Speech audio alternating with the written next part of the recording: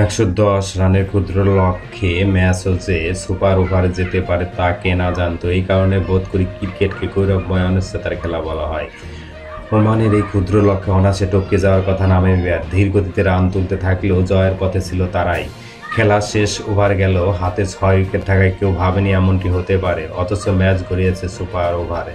মূল ম্যাচে শেষ ওভারে মেহরান খানের প্রথম তিন বলে দুই উইকেট ও একটি ডট বলে ম্যাচের মোড় ঘুরে চলে যায় ওমানের দিকে। পরের তিন বলে কোনো উইকেট না হারালেও জয়ের জন্য জরুরি পাঁচ রানের জায়গায় চার রান সংগ্রহ করে ম্যাচ ড্র করতে সক্ষম হয় নামে দুই ব্যাটার ডেভিস বিউসে কোগার যদিও শেষ বলে ওমানের উইকেট কিপার নাসির খুশির হাত থেকে বল ছুড়ে না গেলে সেখানে ম্যাচ জিতে নিতে পারত তারা।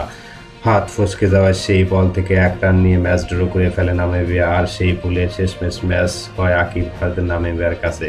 সুপার ওভারে ওমানের বিলাল খানের হাতে বল তুলে দেয় অধিনায়ক আকিব ইলিয়াস। মূল ম্যাচে দ্বিতীয় বলে উইকেট নিলেও প্রথম বলে হজম করতে হয় চার বছর পরের বলে ছয় এবং শেষ দুই বলে পরপর দুই, চারের পাশাপাশি মাঝের দুই বলে তিন রান। সুপার ওভারে আর ওর উপর সরি ঘুরে ডেভিস এবং হেডবাক এরার্স রান করেন একুশ রান। পাওয়ার হিটার না থাকায় জবাব দিতে নেমে ভিউসের বোলিংয়ের কাছে পরাস্ত হয় ওমানের ব্যাটাররা। শেষ বলে জিসান মাসুদের ছয় ছাড়া বাকি বলগুলো প্রান্ত বদল করে নেন চার রান। একটি বল ডট ও একটি বলে আউট হন নাসিম খুশি। ডিউসের দৃঢ়তায় সুপার ওভারে এগারো রানে জয়লাভ করে নামিবিয়া।